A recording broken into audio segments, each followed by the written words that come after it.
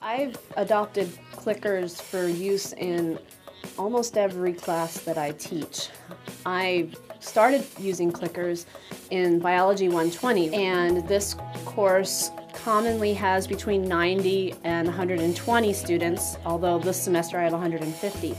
And so trying to connect with those students and also trying to read them for whether they are understanding a particular concept is pretty difficult in a class that size. If you ask the class a question, you always have the same students answering, right? It's always the ones that sit in the front row, or maybe there's a guy in the middle. He always answers all the questions, and you never hear from anybody else. So, are you really getting the concept across to your class? You don't know.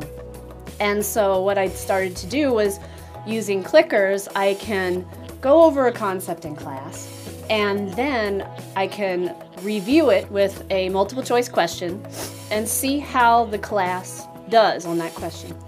So the types of questions that I ask in class are usually directed at either misconceptions that I know that students have.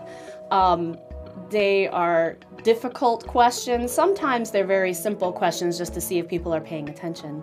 But mostly they are, if you're thinking about Bloom's taxonomy, they're application, synthesis, evaluation questions. Sometimes we go through a case study and I give them the data and then I have them think about what the data means with a clicker question. So we have the graph and I show them the x and y axes and here's what the scientists found and what is their hypothesis or what is the major result. Does the um, does their hypo- is their hypothesis supported or not? And so we basically go through much of the scientific method using clickers. I think that the benefits for using clickers for the student is number one, it helps them be engaged. Um, uh, a colleague of mine, Kirsten Crossgrove, in the biology department, and I actually published some research, pedagogical research, on the use of clickers in the classroom for both majors and non majors. And in general, if you survey them, they enjoy using the clickers. They're not excited about the cost of them, but on the whole, they, they do um, value the level of engagement they have. For the teacher, I, to be honest, I never ever want to teach without clickers again because even in a small classroom, you only hear from the same students every time, right?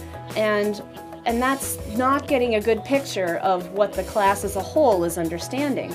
And clickers help you to decide when to go back over a concept and when to keep going. Um, but in the whole, I think that if you would adopt clickers, you would probably come to love them as much as I do. I definitely don't want to teach without them.